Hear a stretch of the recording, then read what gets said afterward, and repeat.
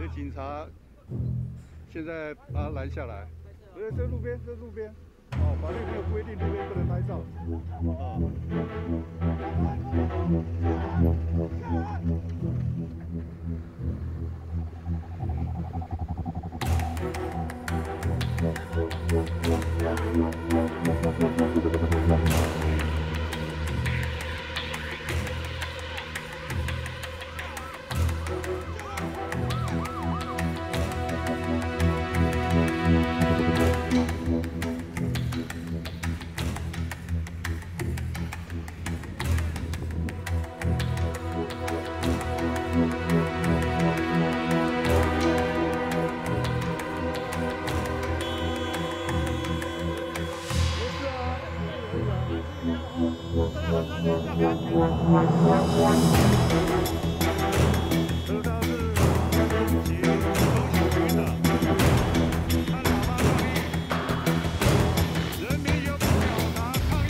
昨天应该是说我在总统府顺时钟啊，顺时钟绕了三圈，然后呢，事实上每一圈我几乎全程都按喇叭，所以前后大概有八分钟了。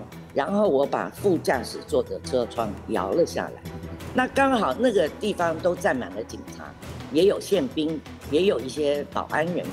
那我可能就是最后这个举动，真的刺激到警方。他们觉得上级的压力太大了，所以那个呃，可能是宪兵的宪兵队的人员，他就告诉我说，我必须不能够停留，要赶快离开。